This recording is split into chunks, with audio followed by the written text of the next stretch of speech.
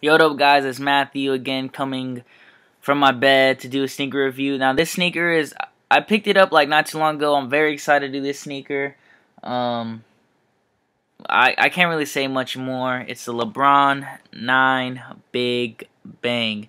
Now, when you see the sneaker, um, if you're a sneakerhead or not, doesn't matter because when you have it on foot, it just attracts a lot of attention. Now I'm a very loud person. This is a very loud shoe. I'm a person that likes attention. This is a shoe that obviously wants attention because it's very loud. Um, you can see it, it's a very loud sneaker. Um, actually, my girlfriend had this sneaker before I did. Now it made me very jealous because when I'd see it on her foot, I'd be like, "Man, I want that sneaker so bad." But I finally got it.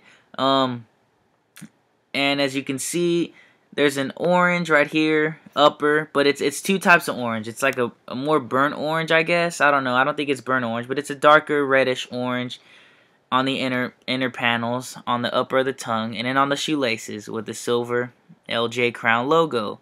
But then on the outlining, it's a kind of like a bright orange, like an orange, Syracuse orange that you would see. Um, you can also see right here is my light shining on the sneaker. You can see it kind of flashing. A 3M swoosh, 3M right here on the lockdown pull tab.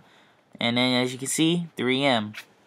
Now the sneaker is called the LeBron 9 Galaxy because it was released on the All-Star game around the All-Star time when about a year ago when um you know NBA players played the All-Star game in Orlando. Now they modeled it after an astronaut suit. As you know, an astronaut suit is orange, so they did the sneaker orange. Um, what you also notice is on the inner, if you don't already know, but you want to just see it again, there's stars right here, and stars in the inner. There's stars right here. I love this part on on, on the inside, and it has a line right there if you can't see.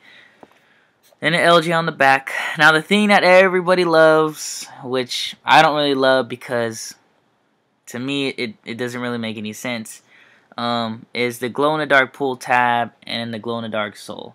Now, my opinion on the glow in the dark sole is it's really not glow in the dark. It it doesn't glow that much.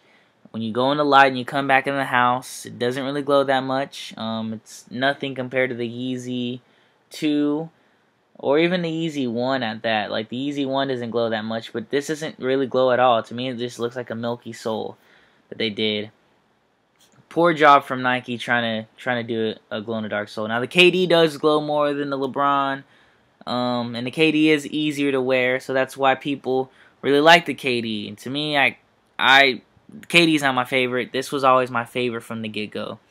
Um, you could also see the Galaxy themed um, carbon fiber shank plate with uh, right here in the midsole is an orange, uh, burnt orange with with orange speckles, just like this right here, this outline. Um, to me, I give this shoe 10 out of 10. Great colorway okay quality. Um, it, it's a real basketball shoe. It's the next generation of basketball shoe. Um, but yeah, guys, I've been wanting this shoe for a while. Finally got it. Just wanted to share it with you guys. Also, last thing, if you, you if you already know, you know this, but you know the Galaxy patch. Um, usually it's the LeBron Sig on the LeBron 9. On the other sneakers is the only sneaker that has this this Galaxy patch. Each shoe from the Galaxy pack this when this dropped in 2012 of February had a, patch. This one had the lion. Um, Kobe just had the Kobe symbol, I think. Er, if I was mistaken, it was a snake though. That was his, the snake. Um, and of course, um, KD had the phoenix on the tongue of the KD four galaxies.